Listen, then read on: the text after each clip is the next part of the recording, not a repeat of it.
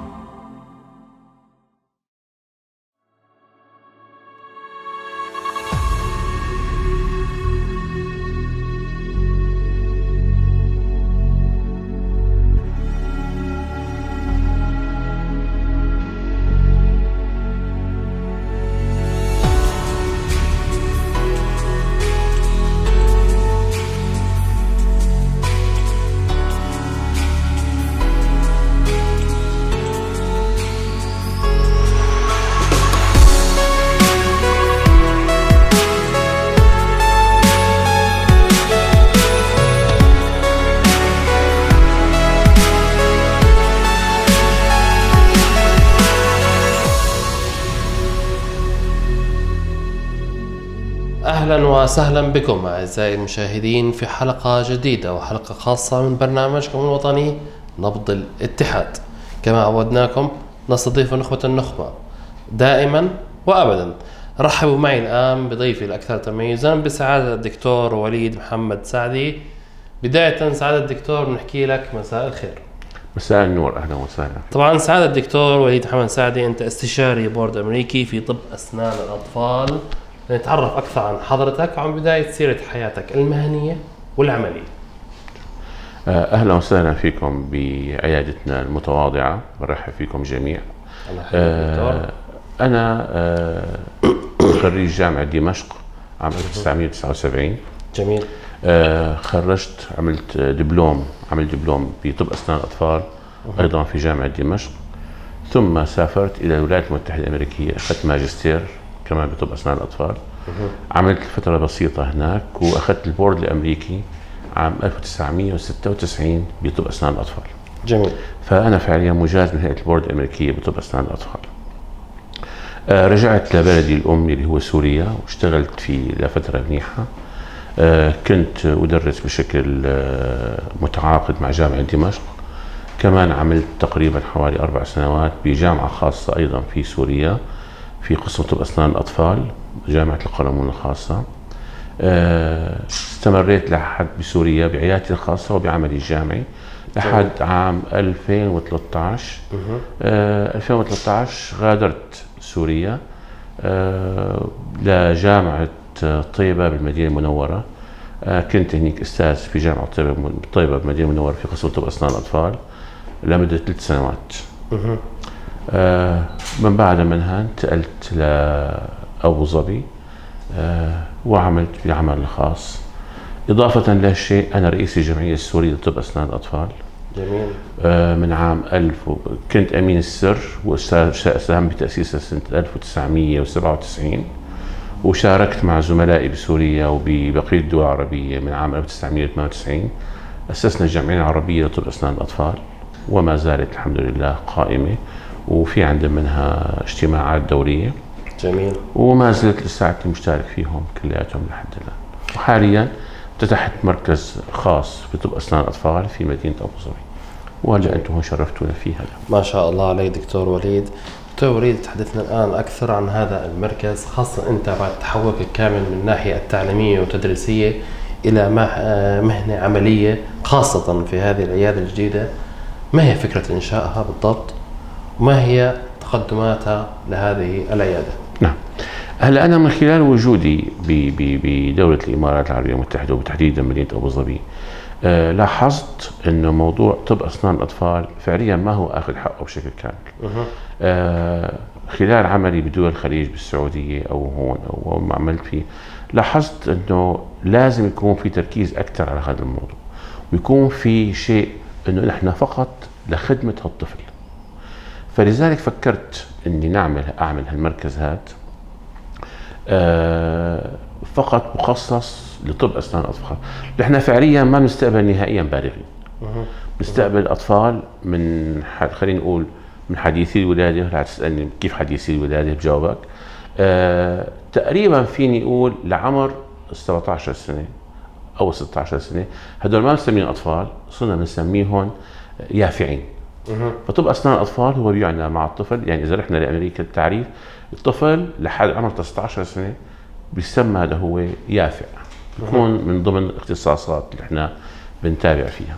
فأنا وجدت إنه هالفئة هي آه، بحاجة لعلاج يكون متخصص ويكون فقط لهالمجموعة هي فلذلك مركزنا مثل ما قلت لك يعنى فقط في طب أسنان الأطفال. كل شيء يخص الطفل آه، بمعالجات سنية من الولادة إلى خلينا نقول نحن 16 سنة تقريبا نحن بنقوم بعلاجه وتقديم الخدمات له آه، إضافة لأنه في عندنا فئة هامة جدا وهي كانت آه، جزء من محور اختصاصي وقت كنت أنا بالولايات المتحدة الأمريكية وكان جزء من عنايتي وقت كنت أنا موجود بسوريا هو الأطفال خلينا نسميهم ذوي الهمم.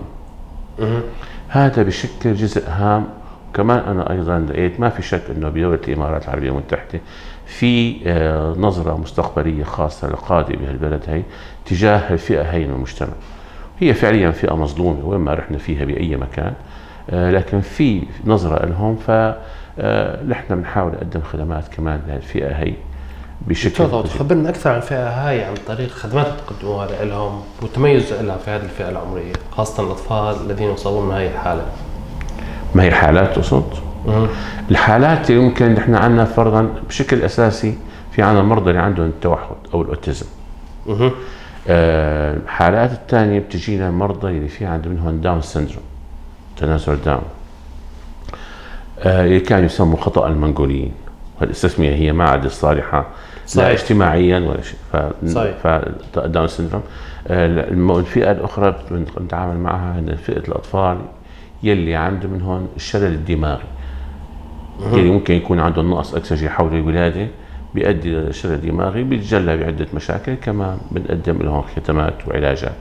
في عندنا بعض أمراض أخرى في عندنا بعض أطفال ممكن يكون في عندنا منهم شوية نوع من التأخر العقلي بسبب أمراض وراثية بسبب آه، رضوض ممكن تكون كمان ممكن تقدم خدمات لهالفئة هي المجتمع. بينضاف لهم الفئات الأخرى يلي هو بنسميهم ال medically compromised. يعني الأطفال اللي عندهم مشاكل كبدية الأطفال اللي عندهم منهم مشاكل قلبية آه، هدول آه، بدهم عناية خاصة. أمراض الأطفال اللي عندهم منهم مشاكل دموية وخاصة بمنطقتنا قد ما تكون موجودة هون فعليا. آه، ما عندي فكرة حتى أعطيك أرقام واحصائيات لكن التلسيميا اللي هي أحد أنواع أمراض فقر الدم كمان هدول الأطفال بحاجة لعناية خاصة تختلف عن اللي ممكن يقدموها ممارس عام أو يكون بعيادات خاص عادية تستقبل كل أنواع المرضى. جميل. الان قبل ان نتقدم أكثر خاصة في طب أسنان الأطفال حابين نرجع للدكتور وليد. لماذا تم التخصص في طب أسنان الأطفال خاصة وما هو الفرق بين طبيب أسنان عام أو طبيب أسنان الأطفال؟ نعم. سؤالك جميل الواقع أنا آه، ما خلاني أحب الأطفال طبعا هو الأطفال أحباب الله هذه اولا. صحيح. و أنا بالنسبة لي سبحان الله الطفل بيمثل لي البراء. فوتتعامل أنت مع طفل بعدت عن مشاكل البالغين وقصصهم وما شابه بتتعرض بتشوف أنت عم تتعامل مع طفل في قمة البراءة. ومتى ما عرفت أنت كيف تتعامل مع الطفل ففعليا أنت مثل ما بسمي أنا وقت لو طلابي كل طفل له مفتاح. مجرد ما عرفت مفتاح هذا الطفل بقيت معالجة الطفل أسلس وأريح بكثير من معالجة البالغ يعني بعطيك بس هيك فكرة أحد المريضات اللي أنا عالجتها. أنا حوالي 40 سنة بشتغل الأطفال. ما شاء الله. فأحد الأطفال اللي كنت عم اعالجها هلأ صارت صبية وما شاء الله حوالي يمكن بالثلاثينات صارت. فكانت بعمر أربع سنوات. فنحن وقت نخدر سن الطفل بنقول له حنخدر حنيم السن. مشان ما يشعر السن شو عم نعمل له أثناء ما هو نايم. فخدرتها. فيبدو البنت يعني شعرت إنه صار في شيء. آه ثاني جلسة إجت لعند مني قبل ما تقعد على الكرسي قالت لي عمو أنا ما قلت لك قلت لها خير. قالت لي قبل ما إجي لعندك ماما قامت السن من تمي نيمت لي طعمته وغسلت له أسنانه ونيمته بالتخت. فلا تنيم لي اياه استني نايم واصلا مو بتمي. فيعني بشوف أنت براءة الأطفال يعني بهالأسلوب ما حتلاقيه عند واحد كبير صح. جميل ما شاء الله. عليك دكتور وليد؟ دكتور وليد الآن تحدثنا أكثر عن كيف يتم طرق التعامل مع الأطفال خاصة هنالك بعض التعامل من الأهل في تخويف الأطفال من الدكاترة. كيف ترى طريقة التعامل مع الأطفال؟ شو بتنصح الأهالي في طريقة التعامل أه بشكل أساسي أحد المشاكل ممكن بنتعرض نحن لها هي تخويف الأهل مثل ما تفضلت بالطبيب. فبيقولوا له إذا ما فتحت تمك آه، خلي الدكتور ياخذ لك إبرة. حتى بيكون الواقع بتستغرب. بيكونوا عندي المرضى على الكرسي موجود الطفل على الكرسي وأنا عم حاول إني أقنعه يفتح تم الطفل فبيكون جواب الأهل إذا ما فتحت تمك خلي الدكتور ياخذ لك إبرة. هذا الطفل مستحيل عاد يفتح تمه فأنا النصيحة الأساسية بنصحها الأهل إنه يعتبروا إنه الطبيب أو يفهموا الطفل إنه الطبيب هو صديق له. هو صديق للطفل ما هو آه البعبع. اللي جاي صحيح. يخوف الطفل. بالعكس هو رايح لعند الطفل لحتى يريحه من الألم. هلا كل موضوع أنت ممكن توصله بطريقتين مختلفتين. طريقة ممكن يأخذ الطفل بهدوء ويقبلها منك وطريقة ممكن الطفل يرفضها مهما كلف الأمر. فبدك بدك أول شيء بهمنا نحن الأهل يتعاملوا مع الموضوع بشكل صحيح. ثانيا إذا الأم تعرف حالها بتخاف ورايحة لعند طبيب الأسنان ما تأخذ الطفل معه. لأنه الطفل على طول القدوه له هو اهله مجرد ما لقى الطفل موجود على الكرسي والأم موجودة على الكرسي والطفل عم يبكي وعم تبكي الأم أو عم مزعوجة أو عم تعيط ممكن يكون مبالغات. الطفل بالنسبة له هو الأم هي شيء مقدس. يعني أنا أوقات بشوفهم أوقات وقت كنا نشتغل كممارس يعني عامين وقت بتيجي الأم مع الطفل وبتقعد على الكرسي الطفل بيخاف على أمه. فما بيخلي الطبيب يعني بيحاول أي أسلوب يبعد الطبيب عن أمه لأنه هو خايف على أمه. فهو بالنسبة له لاحظ إنه الطبيب هذا وقت الأم بكيت أو انزعجت أو عيطت الأم آه، بسبب خوفها هو خاف. فهذا الطفل عفوا الطبيب طالما عمل مشكلة للأم حيعمل لي مشكلة لي صحيح. فلذلك بقول إذا أنت بتخافي من طبيب الأسنان أو أنت يا اب بتخاف من طبيب الأسنان لا تأخذ ابنك معك لأنه حتكون موديل أو موديل بالنسبة له سيء. طبعا أنت ما عم بحسد الام أو الاب حتكون طريقة العرض بالنسبة صحيح. للطفل سيئة. فلا تروح تاخذه منه. لا تخوف الطفل من طبيب. الطبيب بالعكس هو بدكم تفهموا إنه الطفل إنه الطبيب جاي لحتى يخفف لك ألمك لحتى يساعدك لحتى آه، ترتاح من مشكلتك الالميه هذا الشيء الأساسي. سعد دكتور وليد لو تحدثنا أكثر قبل شوي ذكرت إنه هنالك تعامل خاصة لدى أطفال حديثي الولادة كيف يتم طريقة التعامل معهم؟ نعم الأطفال حديثي الولادة فعليا في عندنا بعض حالات ممكن الطفل يولد وفي يتم اسنان. أها هذه الأسنان اللي بتكون موجودة اسنان عند الطفل أثناء هي حالات نادرة لكن موجودة. هذه تحتاج لعناية طبية فورية. آه ممكن الطبيب يتدخل يخلع هذه الأسنان لأنه خوفا ما إنه بشكل خاطئ تنخلع ما بيكون ما بتكون ثابتة بشكل جيد. ممكن تفوت مجرى التنفس تعمل له مشكلة الطفل. اثنين ممكن تعيق الأرضاع لأنه حيرضع من الأم. فممكن تعيق الأرضاع، فهون هذه بتتطلب تدخل الفوري. هذه من جهة من جهة ثانية آه قد يستغربوا الأهل أنه أخي أنا هل يفترض أني أنا أعتني بفم ابني؟ حتى لو ما في أسنان بقول له نعم. آه مجرد ما كان ولد الطفل مفروض بعد الأرضاع يتم تنظيف اللثة عنده منه بقطعة شاش بسيطة عليها ماء تنظف الفم. طلعوا الأسنان بعمر ست شهور. بعمر ست شهور أنا شو ممكن أعمل لهذا الطفل هذا؟ بعمر ست شهور إذا الطفل عم يرضع من الأم أو من الزجاج سواء هذه أو هذه حيصير إذا ما كان في عناية صحيحة حيصير في عند الطفل شيء بنسميه نحن نخور الطفولة المبكرة أو early childhood caries آه وهذه بالفعل بتشكل يعني أكبر كمية ممكن تراجع لنا كأطباء اسنان اطفال آه، الطفل نايم آه، الثدي أو الزجاجة بفمه الحليب درجة الحرارة 37 جراثيم موجودة. الحليب اللي هو الغذاء لهالجراثيم موجود. آه، جو الفم مغلق فهو عتم. آه، فحتكون فعليا مزرعة جرثوميه مثالية. فنحن اللي بنقول إياكم إرضاع الطفل بالليل بعد ما بتبزغ الأسنان. وفي حال كان في اضطرار يجب أن يكون في عند المني تنظيف للأسنان بشكل مستمر. في فراشي أسنان بأشكال مختلفة بعضها بيكون بتنحط بالإصبع آه، زي الكشتبان شايف كيف؟ ممكن الأم آه، تحط عليها مسحة خفيفة من معجون أسنان الأطفال آه، وتنظف الأسنان بعد منها وتنظفها أو تنظفها على الأقل بقطعة شاش تكون مبلوله بالماء. بس إياكم يا سيداتي إنكم تخلوا الطفل يروح على التخت أو ينام وهو الزجاجة بفمه لأنه حيدفعوا الضريبة انت وياه. اولا حتكون ضريبة هو ألم ثانيا ما حيمكن نحسن نعالج هالطفل بهالعمر إلا بالتخدير العام بالمستشفى وبالتالي حيكون في عندنا منكم رد نفسي للأهل وللطفل وإضافة لدفع مبالغ صحيح كبيرة هن في غنى عنها صحيح. ف والإستمرارية يعني في في علاج في العنايه بالصحة الفموية للأطفال إلى أن يتم يعني تب- بزوغ الأسنان كافة وتبديلها مجرى. جميل سعادة الدكتور وليد طبعا إحنا أكثر حالات بنواجهها أطفال خاصة في مراحلهم الابتدائية بداية عمرهم حالات السقوط على الوجه أو ضرب الفم عندهم الاسنان هنالك من الأهالي بعد وقوع طفله وجود نزيف صغير عدم مراجعة الطبيب في هذا الموضوع ما هي مضاعفات هيك وقعات لدى الأطفال وما هي نصيحتك لدى الأهل في هذا الموضوع؟ نعم. سؤال جميل جدا وبواجهنا تقريبا بشكل يومي.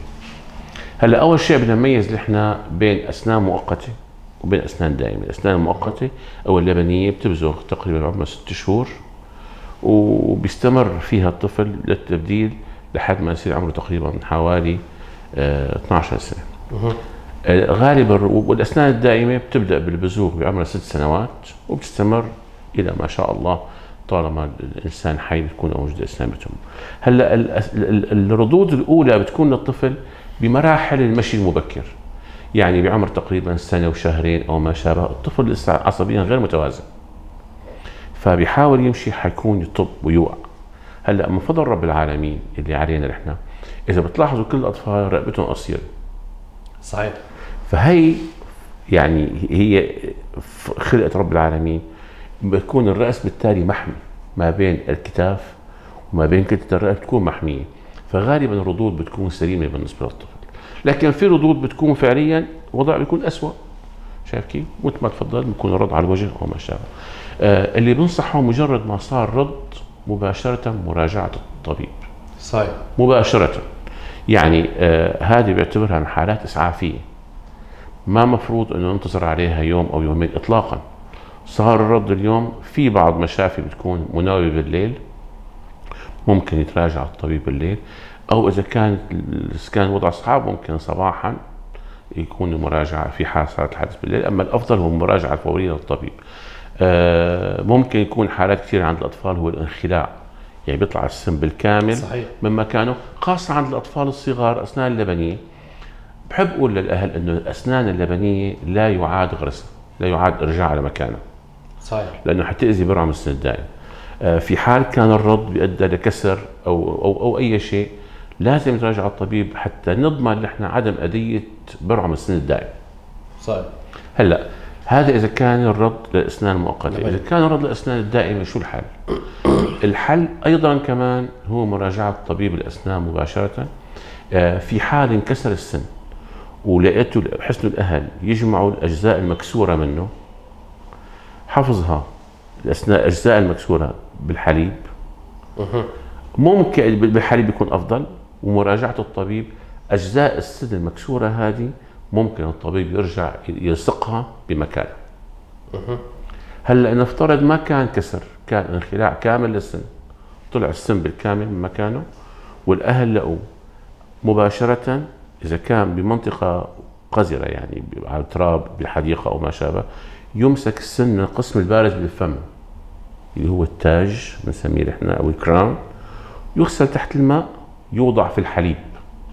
الحليب ليش الحليب؟ الحليب متوفر بكل مكان بالبقالات بقاريات موجود موجود صحيح. بالبيوت موجود. وين ما كان بنحط بالحليب ويراجع الطبيب مباشرة. كل ما كان أسرع كل ما كانت نتيجة أفضل. 20 دقيقة إلى 30 دقيقة هي الزمن المثالي لحتى نحن نكون ما خسرنا شيء من من حيوية السن. آه، ممكن يرجع. هلأ ما حنحكي على موضوع سحب العصب أو ما نسحب عصبه موضوع آخر بيرجع للطبيب.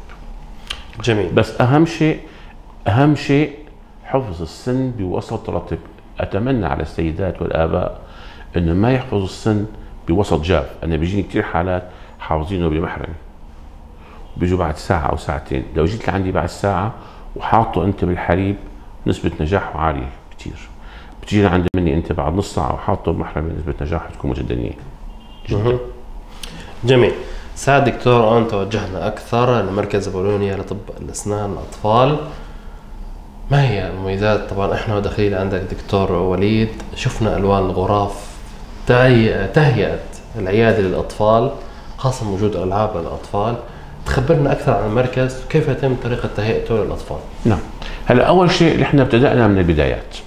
آه المركز مثل ما راح تشوفوا هلا كمان هو عبارة عن ألوانه زاهيه تجذب انتظار الطفل حطينا أشخاص آه شخصيات كرتونية ممكن تجذب انتباه الطفل. هذه اثنين. ثلاثة حطينا للاطفال حسب الأعمار ألعاب في غرفة الانتظار.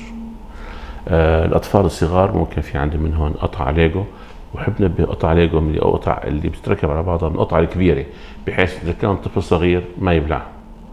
نقطة السلامة هامة بالنسبة لنا آه، اثنين حطينا لهم لوح ممكن في بعض الأطفال عندهم هواية رسم ممكن يرسم عليها وهدول بالفعل بتحس الأطفال كثير مهتمين فيهم بالألوان والرسم عليهم.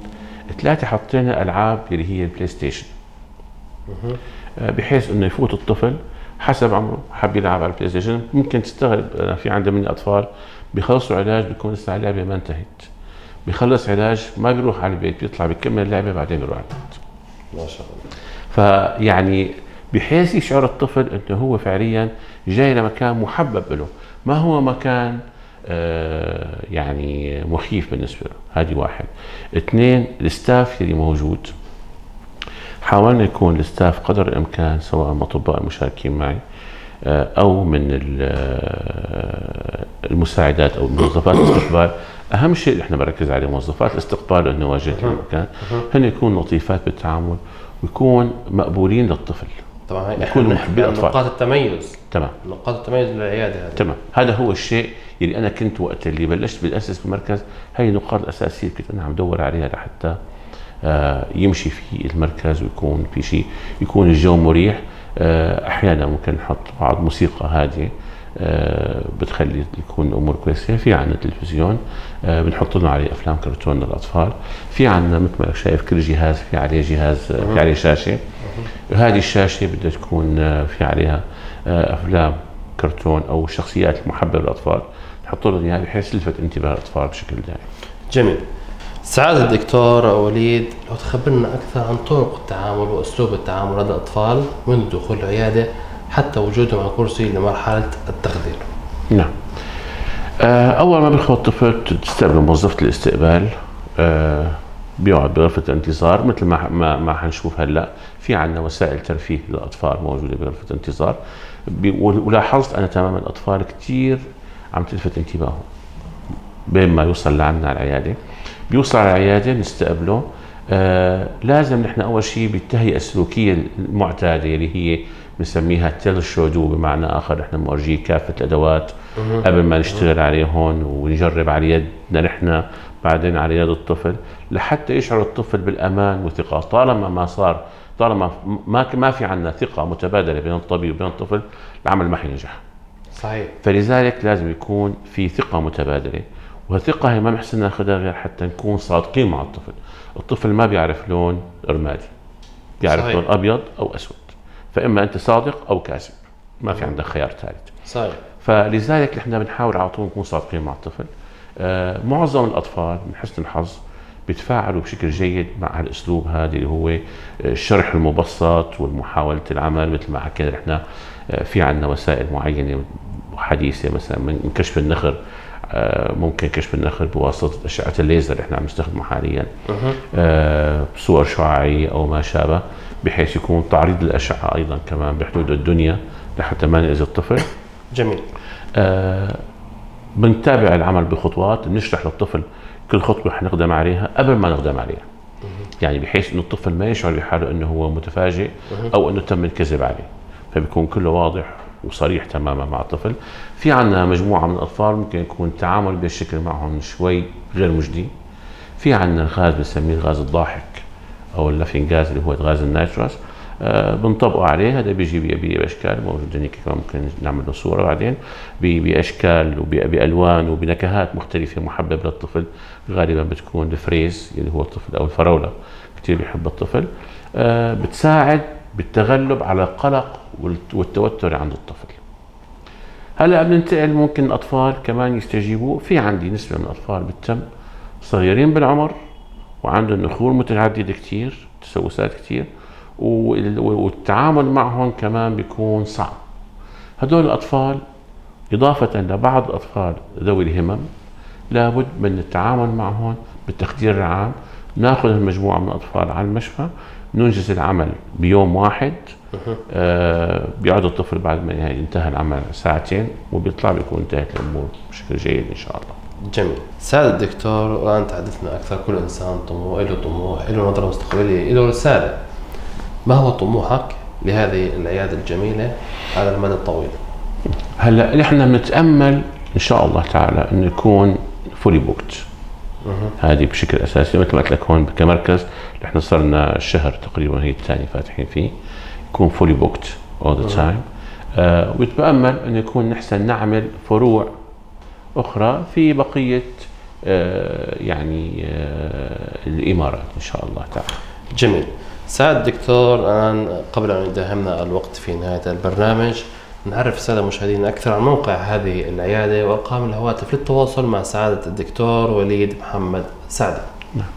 آه العيادة موجودة بمنطقة بأبو ظبي بمنطقة الخالدية بشارع زايد الأول بناء اسمه KM building هو اللي فيه سوبر ماركت هو ال KM جميل.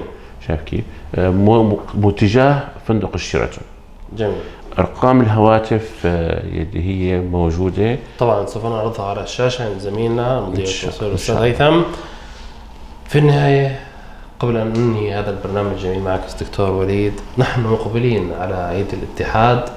شو بتوجه رساله إلى أمراء وشيوخ دولة الإمارات العربية المتحدة؟ خاصة في نعمة الأمن والأمان نحن متواجدون فيها. الله يديم علينا من نعمة بدنا نأخذ منك كلمة في هذه المناسبة. أول شيء بهنئ إخواني بدولة الإمارات العربية المتحدة بعيد الاتحاد بقول لهم كل عام وأنتم بخير و... وإن شاء الله دائما بتم هالبلد على الله يديم عليها نعمة الأمن والأمان والاستقرار.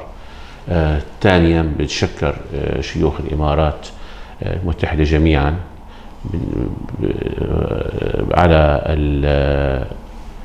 العيش الهن والعيش اللطيف يلي متواجد واللي هو يفترض آه، انه يكون مثال وقدوة لغير دول كلها بنلاحظ هون في عندنا نحن عدد مختلف من الجنسيات تقارب 200 جنسية والكل عايشين بأمن وأمان وهدوء واستقرار وراحة بال والكل عايش بكامل احترامه وكامل حقوقه واخذها ما في أي تمييز. لشخص رغم أني أنا غريب عن هالبلد لكن أنا بعتبر حالي ما ما حسيت بغربة بقدر ما حسيت حالي أني واحد من أهل البلد بسبب مضيافية أهل البلد إخواننا الإماراتيين جميعا وتعاملهم الطيب وإضافة لأنه التعايش السليم والطيب والجميل ما بين جميع آه، الموجودة بالإمارات بشكل شيء بنسميه الموزايك. الرائع اللي هو بيعطي الإمارات جماليتها وبيعطي حلاوتها بحيث إنه يتمنى أي واحد إنه يعيش بالإمارات. جميل. في النهاية دكتور وليد أنا بتشكرك لاستقبالك الرائع لنا ولبرنامج نبض الاتحاد ودعمك لهذا البرنامج. وأرجو أن تسمع لكاميرا البرنامج بتجول داخل عيادات أبولونيا لطب أسنان الأطفال. أهلا وسهلا. شكرا لك. طبعا أعزائي المشاهدين كان معنا لهذه الحلقة سعادة الأستاذ الدكتور وليد محمد السعدي. من مركز عيادة أبولونيا لطب أسنان الأطفال الواقعة في أبو ظبي الخلدية مقابل فندق الشيراتون. في النهاية دمتم بأمان الله. وجنودنا ليهم فخر بسماها. ليشان فخر لنا دوم وأبد. وبنت زايد للوطن الله حباها الفخر عز الطلب. وجنودنا